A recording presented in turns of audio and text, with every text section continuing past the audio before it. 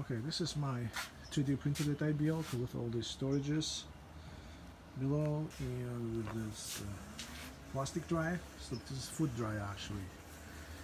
Just regular food dry from Amazon. I bought for like 25 30 bucks and you can always have your filament dried. It's a very great thing. So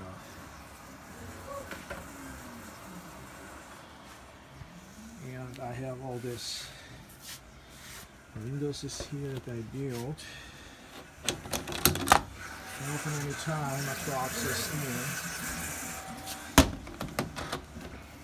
Yeah, this is all the merchandise that I stored here, all kind of parts, spare parts, spools, whatever I need for that, it's here. So, yeah, all parts, spares, anyway this is actually removable too. I can remove any time. So I can remove this to access the whole machine. So no problem with that. Anyway right now I'm, I'm actually printing masks for all this coronavirus stuff. I'm uh, building all these masks masks. Just takes like five hours six hours to build that and this is PETG I'm printing mostly 99% of the time I deal with the PETG. That's the great, great plastic that I uh, so far. The um, uh, a, very, a, very functional parts actually I can get from the PETG. It's, it's much better than a PLA and ABS of course. And yeah, very nice filament. Anyway, it works good. I did tons of modifications here of course. And uh, I would say 95% of the of the printer I changed. 99% so I'm using 16 millimeter y-axis rods instead of initial 8 millimeter that I get.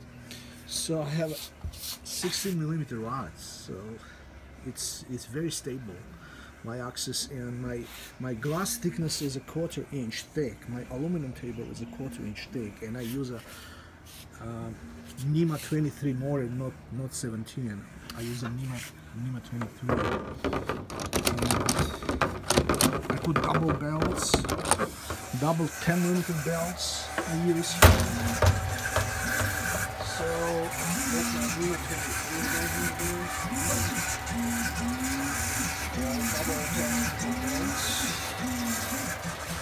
yeah, pretty much I change everything I change everything and A plus. 95% change. So I use instead of bottoms for the z-axis uh, two motors here I put them actually on the top. It's much better here and I have a belt that drives z-axis.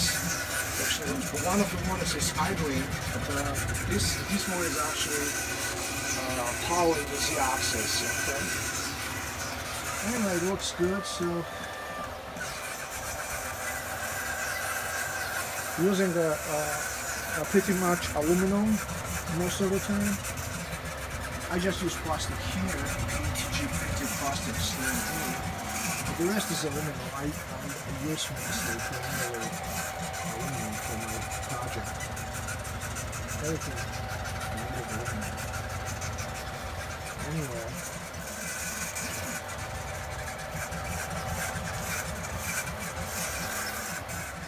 So anyway, I changed 95% of the Anet A8 Plus, and that's completely new premium.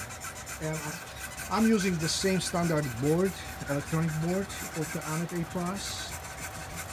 So um, yeah, it's it's very good printing now. With all this uh, modification, it works good. So I can't complain. It works very good now. So anyway. Yeah, with, with very heavy table and I'm not really 23 no, I don't have any kind of problem. I just print and print and print and no problem at all.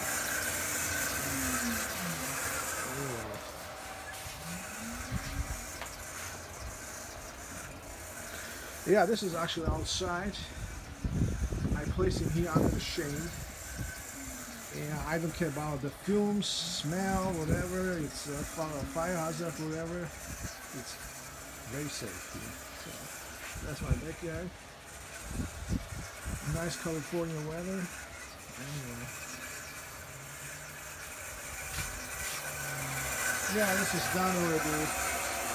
Probably 10, 15 percent so far.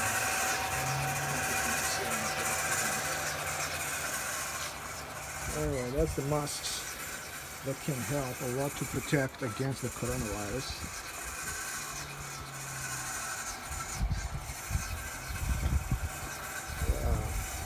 double shielded, uh, no, I mean with a hood, and I use actually some very small tiny screws to fix the PETG plastic.